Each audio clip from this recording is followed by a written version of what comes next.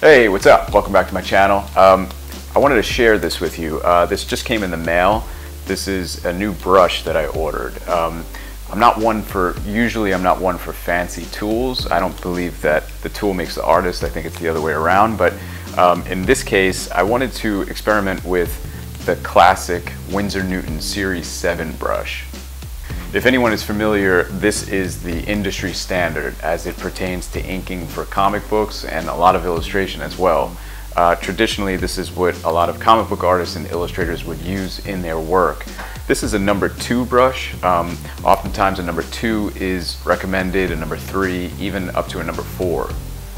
I'm going to open it right now for the first time. Um, I actually used to have a lot of these brushes. I used to use these for a while and then um, what winds up happening sometimes is I don't clean them properly, so they actually don't last as long as they probably should.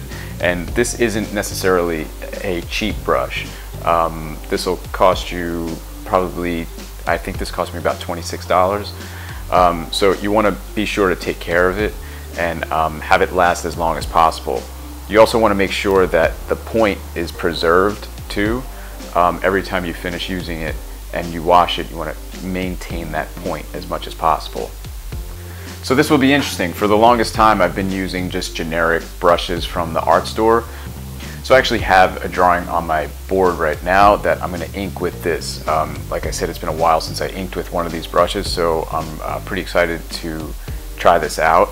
Uh, this is a brand new one, fresh out of the box. So um, what I'm going to do is just activate it a little bit just get used to uh, making some strokes with it, and then I'll go right into the final drawing. Take a look, I'm gonna do a little bit of commentary while I ink this, and uh, hopefully this will be interesting. See. So this is me just warming up, uh, essentially just dipping the brush into ink and making various lines in different directions, just getting my hand used to using the tool and used to moving it in different directions. I definitely recommend doing a warm up before you jump into inking a finished piece. It's a lot like stretching before you work out. So then I just jumped into this drawing, and by the way, this was a Batman and Robin drawing that I did for fun, uh, sort of a classic style, and I thought it would be a fun one to test this brush out on. One of the things that I noticed immediately when I was using this brush, uh, especially after not using like a really high quality brush for a long time, is how well it maintained its shape as you can see when I'm inking the outlines here, I'm using just the tip of the brush for the most part, and it really helps that the brush maintained a sharp tip throughout.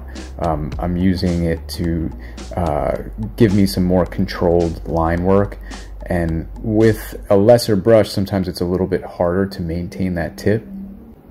So that was actually really refreshing. Also, it really retained a lot of ink on it throughout. I'm sort of used to dipping the brush back into the ink pretty regularly. So this was nice that I actually uh, didn't have to do that so much because when you're inking, you're just kind of like in the zone and you don't want to always have to keep uh, re-dipping the brush back into the ink. So that was really cool.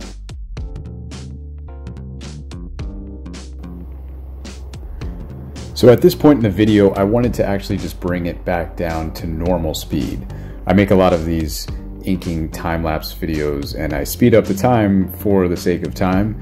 Um, but I think it's important to show that I'm not always just like, you know, inking at warp speed. I don't really know anyone who does.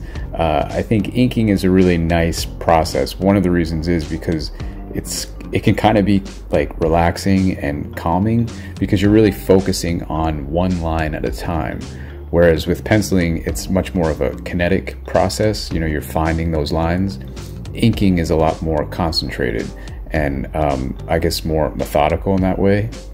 So I just thought I would mention that and reiterate the fact that um, i definitely don't just like uh, speed through these.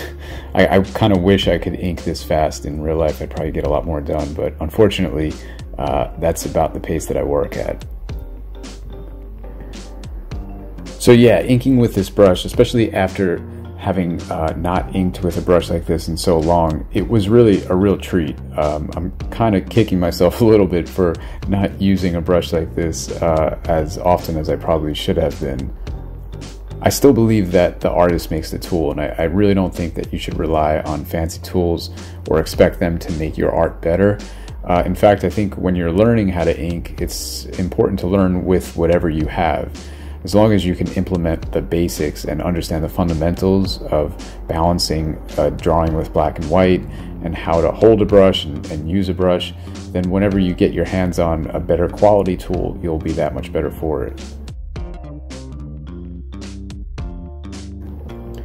But this was a lot of fun, especially inking hair um, with a brush like this. You could kind of just get lost in those patterns. And like I said, it really maintained its shape throughout, so that was really nice. So yeah, if you're interested in picking up a brush like this, I'll leave some info in the description down below on where you might be able to pick one up and just some more details about the brush. So as always, thanks so much for watching. And if you have any questions or comments, leave those down below. I'd love to hear from you. And uh, I'll catch you in the next video. Take care.